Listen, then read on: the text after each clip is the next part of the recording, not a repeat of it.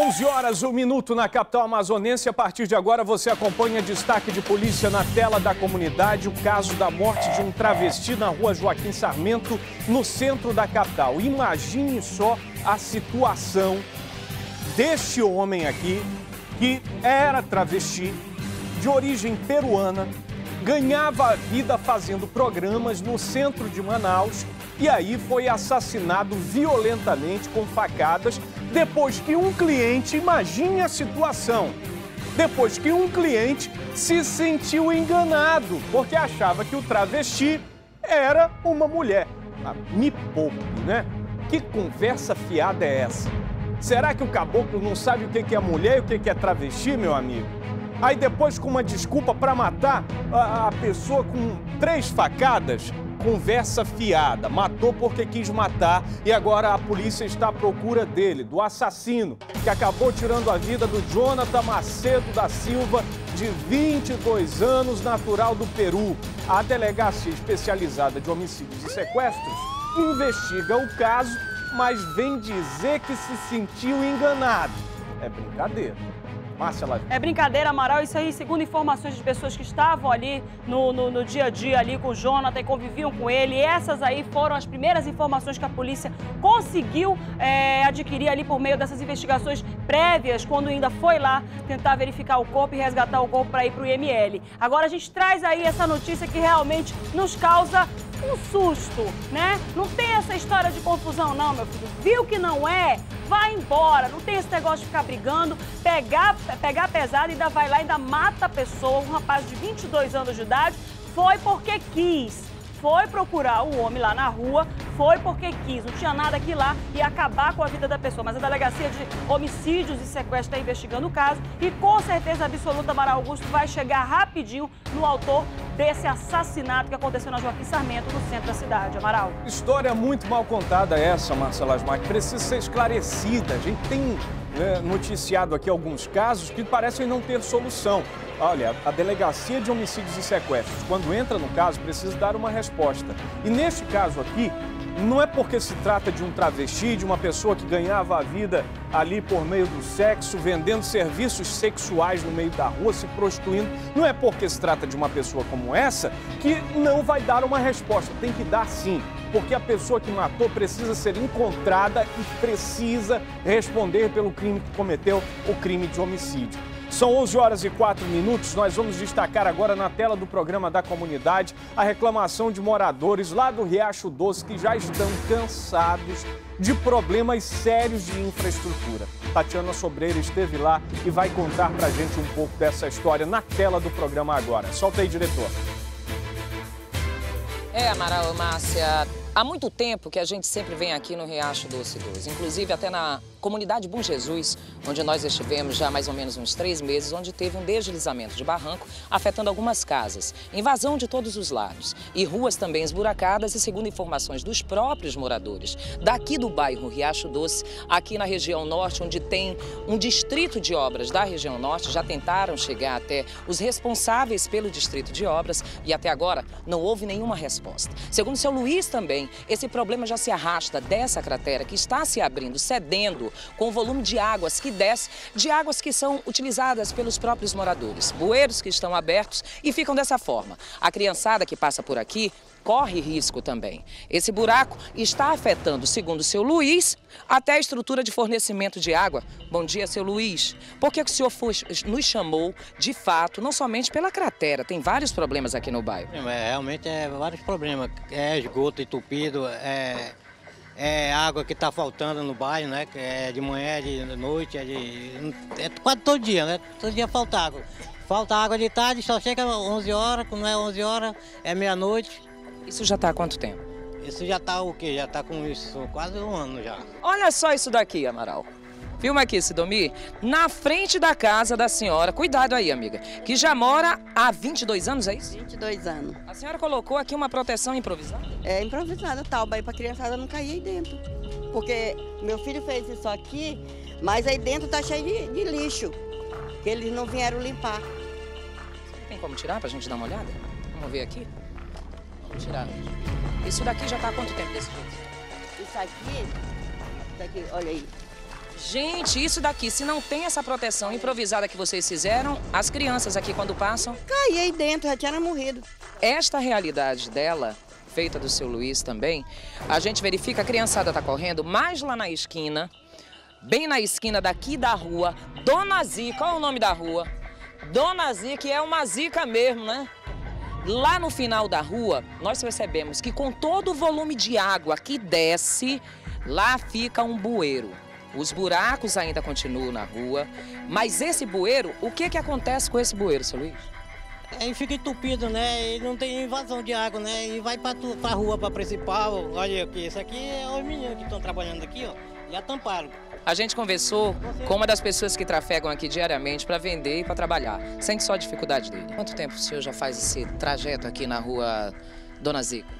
Rapaz, a gente trabalha durante o ano todinho nas ruas, aqui mesmo no Riacho Doce, tem muita dificuldade, as ruas muito ruins, muito buraco, muito lama, muito ruim mesmo, ó. Você trabalha vendendo aí, isso representa aí um, uma perda grande, né? Muito, muito mesmo, ó. Porque as ruas não ajudam, asfalto, muito buraco, chove, aí fica muito lama na rua, muito, muito ruim mesmo.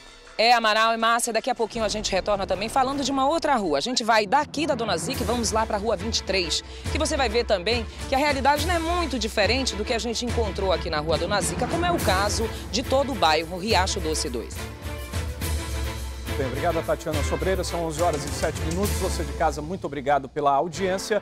Márcia Lasmar já está pronta e vem aí se preparando para trazer uma dica especial. Você que nos assiste, obrigado pela sua participação diariamente no Agora, o programa da comunidade. São 11 horas e 8 minutos. Marcinha, com você. Joga pra mim que eu aparo Amaral Augusto e quero dar um recado para você que está aí do outro lado. Varicel é o tratamento mais indicado para as varizes e hemorroidas. Dá uma olhada no depoimento. Como eu trabalho muito tempo sentada, eu comecei a ter problema de varizes nas pernas. Eu sentia muita dor, muito peso, muito cansaço. E tentei diversos tratamentos, nada resolvia. Até que eu comecei a tomar varicel. Aí, varicel tirou toda essa dor, todo esse peso, todo esse cansaço nas pernas. Eu comecei a ficar muito mais bem disposta. Varicel resolveu o meu problema. Viu só? Varicel funciona mesmo. Varicel comprimidos associados ao varicel gel melhora a circulação, acabando com as dores, sensação de peso, cansaço inchaço nas pernas provocados pelas varizes. E o varicel comprimidos também combate as dores, inflamações e desconfortos causados pelas hemorroidas. Varicel você encontra em todas as farmácias do Brasil e a preços promocionais nas redes de farmácias Angélica e Farmabem. Eu disse Angélica e Farmabem. Varicel tem a garantia de qualidade de com Farma. Não aceite outro. Volto contigo, Amaral. Muito bem, obrigado, Márcia Lasmar. São 11 horas e 9 minutos. Você que está aí do outro lado, ainda nesta edição do programa Agora, vai acompanhar informações de mais uma reintegração de posse em uma área, em um terreno na zona norte de Manaus. Cerca de 300 famílias ocupavam o terreno. Houve conflito com a polícia. A gente observa parte de algumas famílias que se diziam eh, indígenas, está ali na parte da rua e a Polícia Militar acabou reintegrando mais essa área de terra ali na zona norte de Manaus. É destaque que você acompanha logo mais aqui no programa Agora, o programa da comunidade, que destaca também a situação da rodoviária de Manaus, que não é novidade para ninguém. Situação complicada que é ali todos os dias compartilhada por passageiros que enfrentam problemas de infraestrutura e que não sabem se um dia a rodoviária vai ou não melhorar. Reportagem na tela do agora para você acompanhar com a gente. O jeito é esperar deitado, já que o embarque deve demorar. Esta família veio de Manacapuru e vai para Boa Vista. A gente estamos aqui desde 5 horas da manhã. Esse lugar aqui não é confortável para a gente, né? Eu tô com duas crianças, tá aqui elas duas. E eu tô, já tô com pena dela, sabe? Este homem veio com o neto para a rodoviária. Eles pretendem ir a Manacapuru, só que foi impedido porque só trouxe a carteira de vacinação da criança como documento. Sempre ele vai comigo e sempre esse documento é válido. E eu, agora ela me barrou, a jovem que está aí na, vendendo as passagens. A fiscalização no embarque de menores é uma das poucas coisas que funcionam por aqui. A rodoviária está abandonada e não é de hoje. Como não tem ninguém responsável pela limpeza da rodoviária, principalmente dos banheiros, uma estratégia dos comerciantes para poder trabalhar em um lugar limpo foi se juntar. Eles fazem uma cota para comprar o produto de limpeza e se revezam no serviço. A Maria vai ter prejuízo, precisa fechar o comércio toda vez que vai limpar o banheiro. A gente que limpa, final de semana eu limpo, aí tem outras pessoas durante a semana que vem e faz a limpeza. As reclamações são muitas. A central de atendimento ao turista está fechada. A agência de transporte terrestre também. O segundo andar, onde antes funcionava a SMTU, agora está abandonado. Apesar dos problemas, os agentes de viagem tentam suprir as dificuldades com o atendimento atendimento. Infelizmente, a gente não tem uma rodoviária adequada né, para recepcioná-los, mas pelo menos com o trabalho, dedicação, vamos fazer o possível para que isso venha a ocorrer de uma maneira bem satisfatória para para todos eles, entendeu? A rodoviária passou por uma pequena reforma na época da Copa, mas foi superficial e está longe de ser ideal para quem usa. O único terminal rodoviário de Manaus atende mais de 20 mil passageiros por mês. A SMTU, ligada à prefeitura, diz que a responsabilidade é do governo do estado. Caso venha para ser infra, nós vamos ter que primeiro fazer um levantamento, verificar a utilidade daquele prédio, se todo aquele tamanho é necessário, incrementar, reestruturar, dotar de pessoas para que possam fazer a gestão daquele, daquela rodoviária, para que nós possamos realmente fazer um trabalho condizente com o que é feito pelo governo do estado. Enquanto o impasse não é resolvido, a situação da rodoviária de Manaus fica cada dia pior. Pois é, a rodoviária passou por uma reforma recentemente para a Copa, para que as pessoas que viessem para cá, principalmente venezuelanos, colombianos, é, não encontrassem uma situação muito pior do que aquela que já era compartilhada pelos passageiros que utilizam quase que diariamente o transporte intermunicipal. Só que a situação é muito mais grave do que a gente imagina. Nós temos um ponto estratégico para a construção de uma rodoviária melhor, que está ali numa, numa, numa área de entroncamento de trânsito na cidade de Manaus. Fico me perguntando se já não era a, a época de pensar em um projeto que levasse essa rodoviária para uma área mais ampla da cidade de Manaus, ali na Zona Norte, ou então na região metropolitana mesmo. Né? Fico me perguntando se já não era essa a providência a ser tomada. No entanto, toda vez que a gente fala de rodoviária de Manaus, a gente traz aqui algum tipo de solução e fala como quem observa um problema que já se estende por muitos anos e me parece estar longe de ser resolvido. Fico me perguntando, portanto, se já não é a hora de uma parceria público-privada, em que as empresas que operam dentro da rodoviária eh, entrassem com um, um recurso para a reforma, ampliação e, dessa maneira, a própria manutenção da rodoviária. E que o governo, por sua parte, por meio de um convênio, ajudasse também nisso. O que, que acontece hoje? Hoje a rodoviária de Manaus está sob a, a tutela do Estado por meio da Secretaria de Estado de Administração, a SEAD. A SEAD deve definir nos próximos anos qual secretaria vai passar a administrar a rodoviária de Manaus. Tudo indica que seja a CEINFRA, que é a Secretaria de Infraestrutura do Estado. No entanto, para que a CEINFRA administre a rodoviária, ela precisa de mais gente. Com a atual estrutura, não tem condições. Então, fico pensando aqui: é ou não é a hora de uma parceria público-privada? Que tem dado certo em outras cidades do Brasil? Acredito que sim. Está na hora das empresas que utilizam ali a rodoviária se juntarem junto com o próprio Estado e, por meio de uma parceria, administrarem essa rodoviária e torná-la um ambiente propício a passageiros, um ambiente propício a turistas que utilizam a rodoviária também para se deslocar para municípios como Manacapuru, por exemplo. Márcia Lasmar. Amaral, essa é uma realidade aí que precisa realmente começar a aparecer no nosso estado. É uma realidade que precisa começar a acontecer. Você muito bem eu disse que há turistas que vêm e nem sempre eles fretam aí um micro-ônibus, nem sempre eles vêm num grupo grande que dá para dividir aí um táxi maior. Não, eles querem pegar o ônibus num sistema que seja viável, que seja adequado e que seja digno. É isso que eles querem. E infelizmente a nossa rodoviária não tem suporte, não tem condições de atender a esse público. Nossa cidade recebe turistas todos os dias, em todos os momentos. Então precisa, a gente precisa estar preparado, nós precisamos estar preparados para atender a essa demanda, porque são eles que levam dinheiro lá para os municípios que recebem todo esse quantitativo de pessoas e principalmente as pessoas que precisam nós mesmos nós que estamos aqui no estado, nós moradores que precisamos nos deslocar para outros municípios, precisamos nos deslocar com dignidade, chegar no horário, que o ônibus respeite o horário, que tenha uma estrutura adequada, uma estrutura limpa, que os banheiros tenham condições de pelo menos uma pessoa como essa família que está aí desde as 5 horas da manhã,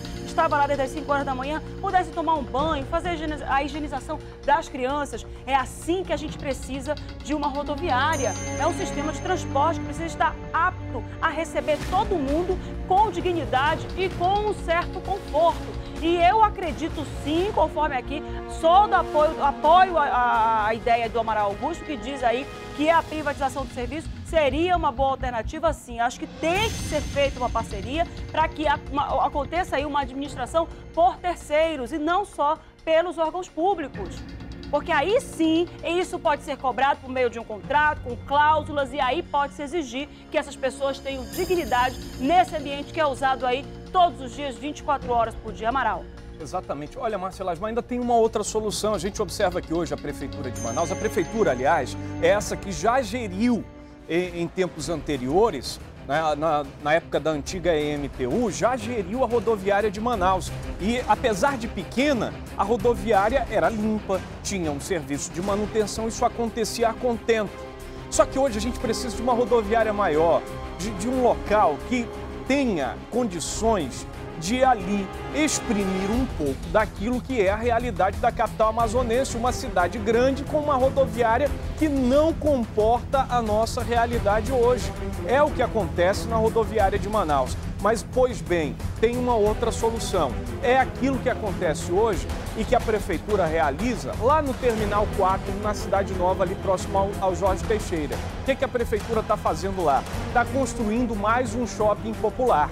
O mesmo poderia acontecer na rodoviária de Manaus. Por que não fazer uma parceria com o governo do estado hoje? Entra a prefeitura, o governo do estado e realiza aqui uma obra de construção de um shopping popular anexo à rodoviária de Manaus. Seria o uso justo de um espaço mal utilizado, que vive no improviso, onde os comerciantes que estão ali, os permissionários que estão ali, fazem cota para garantir a limpeza dos banheiros, por exemplo. Olha, não dá para continuar assim. E para que isso mude, é preciso ter pulso. Fico me perguntando se esse não é o momento do governo do estado ter pulso e aproveitar a boa comunicação que tem com a prefeitura e transformar esse local, olha, isso aqui é uma estrutura que pode ser muito melhor aproveitada. Se construir um shopping popular hoje, onde funciona a rodoviária de Manaus, é garantia de que esses permissionários que estão aqui vão ganhar mais dinheiro e que novos permissionários vão estar aqui ganhando dinheiro, movimentando a economia, porque tem gente aqui diariamente. Então fico me perguntando, falta ideia? Eu acho que não. Isso que eu estou falando aqui, não, não, não se preocupe, porque não é, não é não é algo extraordinário que está caindo do céu aqui na hora. Não, todo mundo sabe que isso é possível acontecer. A gestão pública, inclusive, já sabe disso. O que falta são medidas práticas. Quando a gente fala de medida prática, meu amigo, a gente está falando do gestor tomar as rédeas e resolver. Eu espero que isso aconteça. 11 horas 20 minutos. Vamos em frente com o programa agora, Márcia Lasmar. Amara, olha só, a gente vai falar agora de táxi. Primeiro de dezembro, todo mundo sabe que os táxis aumentam aí, começam a cobrar bandeira 2. Pois é, houve um aumento de 35% e é previsto em lei. Só que tem muita gente que está reclamando desse 13 terceiro da categoria. Vamos ver aqui na tela? Pegar um táxi em dezembro vai custar mais caro. E Dona Gil Cirema, que paga em média 15 reais pela corrida, já se prepara para o aumento. Com certeza. Não, vou, não sei quanto, né? Eu vou ver agora. Agora, de segunda a domingo, será a bandeira 2. A tarifa vai sofrer um acréscimo de aproximadamente 35%. O valor que antes era de R$ 2,40, bandeira 1, pode chegar a R$ 4,00 por quilômetro rodado. E é garantido por lei. Isso é feito todos os anos no mês de dezembro. Então, se hoje uma corrida que pagava 10 reais, vai dar R$ 13,00, R$ 13,50.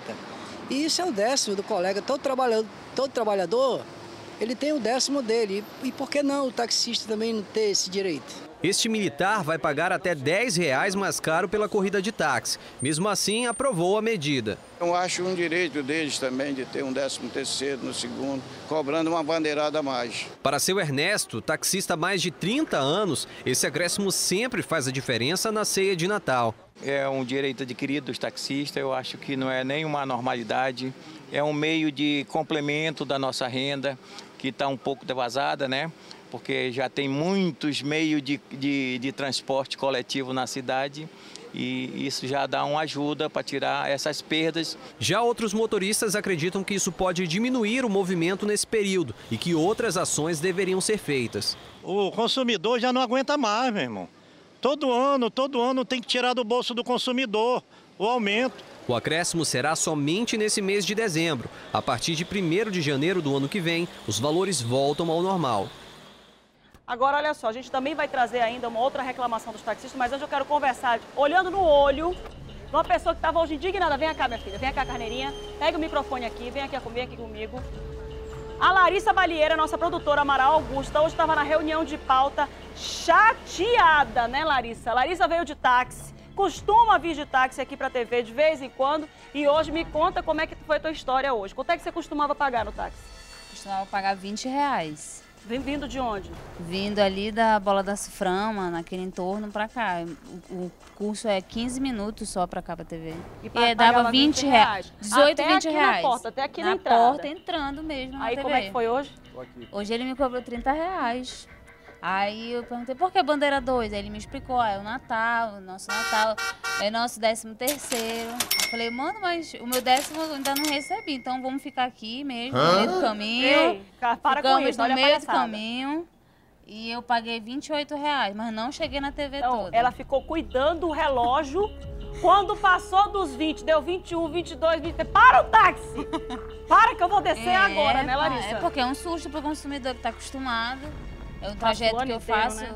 É um trajeto que eu faço uma vez na semana, dependendo se estiver chovendo, se estiver atrasada. Quando eu vi que eu olhei pro relógio, 22 reais, aí eu questionei. Gente, fiquei no meio do caminho, mas consegui Aí, olha, chegar. sabe o que, tu faz? Tu passa no caminho, dá uma carona pra Luana, que também fica ali no aperreio, no meio do caminho, às vezes quando tá chovendo também. Dá uma carona pra Luana e divide o táxi. É, vai o ser a o alternativa. jeito vai ser rachar o táxi, realmente. Vai ser rachar, né? Aproveita e manda um beijo aí pro Geraldo Campelo, que tá aí. Um beijo pro meu colega Geraldo Campelo. Nós temos nossas diferenças. Ele é um fofinho, literalmente, mas é uma pessoa querida, é uma pessoa boa. Literalmente é sacanagem. Vai lá, Larissa. Andrade. Você que tá aí do outro lado, tá vendo só como é que tá? Essa é a situação, mas é uma situação que todos os anos nós todos enfrentamos. São 11 horas e 24 minutos e a situação do 13º dos taxistas é assim. Todos os anos, a partir do dia 1º de dezembro, se tem esse 13º. Você ouviu aqui, a- a- pessoalmente, aqui a Larissa Balheiro, que é a nossa produtora aqui da redação, trazendo pra gente as informações de como foi o dia. Amaral, ela costumava entrar até aqui na portaria, aqui na porta aqui onde tá a Gleice ali. Hoje não, hoje ela ficou no meio do caminho e falou, eu vou andando nesse negócio, porque não vai dar pra pagar o táxi todo não, Amaral. Mu- Muito justo. Eu, no lugar do taxista, não deixaria ela ir andando. É, Eu acho que também tem que ter um meio termo, né? O bom profissional do táxi, ele não deixaria. Vou, vou logo dizer aqui. Ele traria ela sem nenhum. Não, olha, vou te levar. Não, imagina se eu vou deixar Absurdo, você né? no meio do caminho. Vou levar você até o seu destino, mas fique sabendo que a partir de hoje já é bandeira 2. Da próxima vez você fica alerta. O bom profissional faria isso, viu, Marcela Asmar? É, Jamais é, deixaria cliente no meio do caminho por causa de uma tarifa como essa. Você concorda comigo? Concordo, ela- ela- ele virava logo e dizia, você é assíduo, uma vez por semana eu lhe trago aqui, que sabe que você tá no aperreio mesmo, mas eu vou lhe dar uma colher de chá e não se preocupa não, que hoje eu vou levar você até lá, mas a partir de amanhã não vai dar não, porque aí o meu peru também não vai sair, minha ceia de Natal, a minha farofinha com passas, que a gente só come uma vez por ano, aquele arrozinho à grega, tem que sair com a bandeira 2 Amaral. Tudo bem, Marcela. São 11 horas e 25 minutos ainda nesta edição do programa da comunidade. Você vai acompanhar informações sobre a reintegração de posse na zona norte de Manaus. É mais uma invasão, meu amigo. Mais uma invasão que acabou sendo desarticulada depois de um mandado judicial de reintegração de posse. Daqui a pouco nós vamos acompanhar detalhes sobre isso e também sobre uma manifestação na zona sul da capital Alunos de uma escola pública do estado reclamam de casos de meningite. Eles chegaram a se reunir na escola cobrando providências, porque é essa aluna que contraiu meningite e acabou morrendo. São 11 horas, 26 minutos, o programa agora volta em instantes. Até já!